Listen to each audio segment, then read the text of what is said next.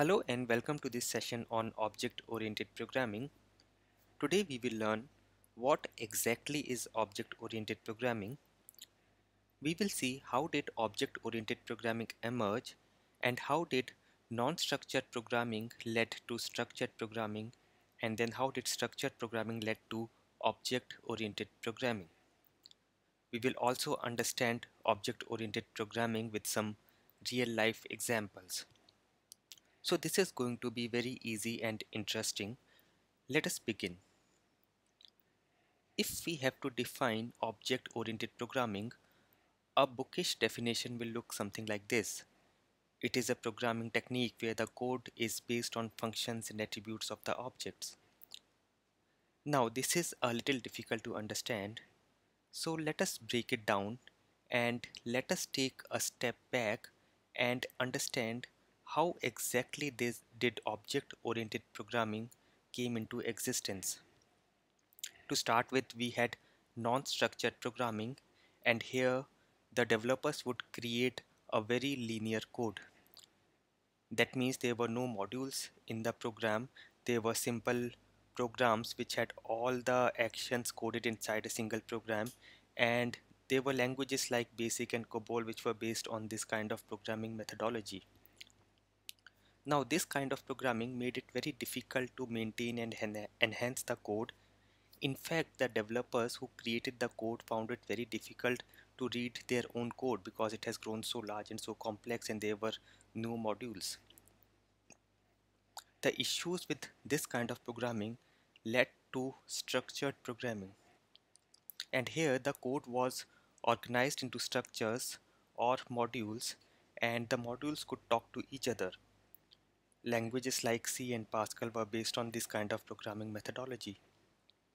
This was very successful and coding was very easy and convenient, but still it was felt that for large enterprise level applications we need something more. The programming should be able to relate to the real life entities and due to this a new kind of programming methodology was born which was known as object oriented programming and languages like Java and C++ are based on this kind of programming methodology. Let us go a little more deeper and let us take an example. A bank account holder withdraws money from an ATM. What are the steps? So the person will go to the ATM, he will insert his card, he will enter his passcode, enter the amount to be withdrawn and then withdraw the cash and take out the card. Now, if we have to write a code for this in non-structured programming methodology, it will look like something like this. There will be a single program and all the steps will be coded inside it. Here is an example. You can see the entire logic is written inside a program. There are lines which are numbered and there are some conditional go-to statements which can make the control jump to some part of the programs but still it is all inside a single program. So this is how this will look like into non-structured programming. Now this is very linear and there are no modules and therefore it is very difficult to maintain and enhance the code. Basic COBOL and Fortran are the languages which use this kind of programming methodology. So now let us go and see how will this example look like in structured programming. As we already discussed, structured programming will have structures or modules for separate actions. So for example, this is an example for withdrawing money. So we will have a module called withdraw money and all the code for this particular action will be housed inside this particular module and then similarly we can have other modules like deposit money open account and so on. And these modules can talk to each other. We can understand this in this way. There are different modules for every action and these modules can talk to each other and work in a coordinated manner with the help of some functions and arguments and passing values to each other.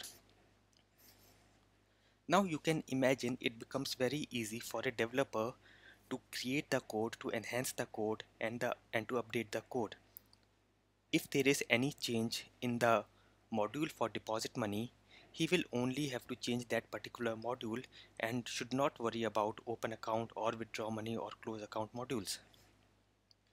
Also, if there is a new action or a new scenario added, we can create a separate module and this separate module can again talk to the existing modules using the functions and arguments. So this is how structured programming made it very easy. Another thing that you should understand is structured programming works on actions. Let's take this example. A person opens account with a bank and deposits money and uses his credit card to withdraw money from the ATM. In this scenario, what are the actions or what are the verbs? Open account is an action, deposit money is an action and withdraw money is another action. So normally in structured programming, a developer will create modules based on these actions. There will be a module for open account, a module for deposit money and a module for withdraw money. So you can see this is how structured programming will look like with the help of this example. So the programming is programming is very modular. There are separate modules or structures. The maintenance and enhancement and change is very easier now. Languages like C and Pascal use this kind of programming. Now, although structured programming is very useful and makes the life of a developer very easy and convenient and it was used for a really long time but it was felt that structured programming is very good for mid-size level applications. But when we talk about large enterprise level applications the developers were not able to relate the code in their programming to real life scenarios or real life entities. And that is where object oriented programming was born. Now if we have to uh, create a program for this particular example in object oriented programming what we have to do now the answer is object oriented programming does not work in this way we cannot just have actions and create a code for this in fact Object-oriented programming works with classes and objects. Let us go deeper and let us understand what does this mean. What is a class? You can understand class as a template or a blueprint for creating anything. For example, if you want to create a building or you want to create a house, you will have a design document or a blueprint of that uh, creation of that house. And using that template or blueprint you can create the house. And you can create n number of houses or n number of buildings using a single template so this is the same in object oriented programming class is a design document or a template and using this template we can create multiple objects in object oriented programming you will find that it depicts real-life entities in the form of objects and these objects are created using classes. Let us understand it more deeply. Here is an example. An account holder withdraws money from his bank account using credit card. Now in structured programming we had worked on actions. Here we will work on entities or you can say what are the nouns in this particular scenario. An account holder is a noun or an entity, bank account and credit card. In object-oriented programming, we will create classes for these entities. So we will have a class for account holder, we will have a class for bank account, and we will have a class for credit card. Now, imagine an account holder in real life.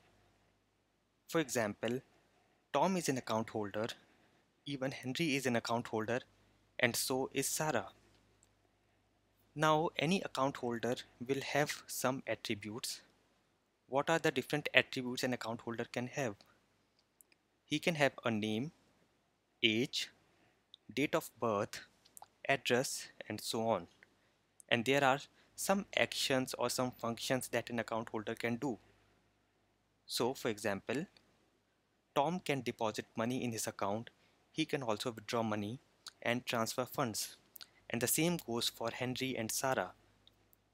Now, in object-oriented programming, we will create a class which will have the same attributes and the same functions or actions.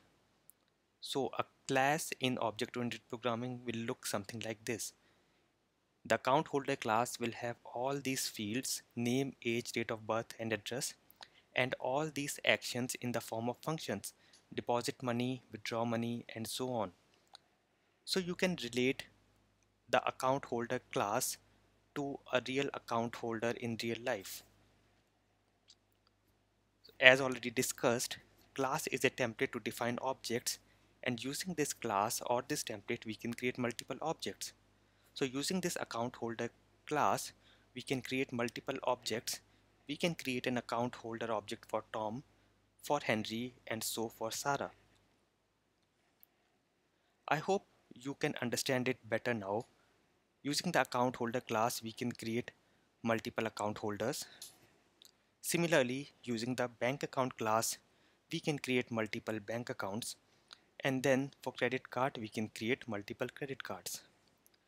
And these classes will have functions which can talk to each other. I hope now you can go back to the bookish definition and now we can understand what exactly this means. The programming is based on functions and attributes of the objects. I hope now the object-oriented concepts are very clear. I will meet you in the next session. Thanks for watching.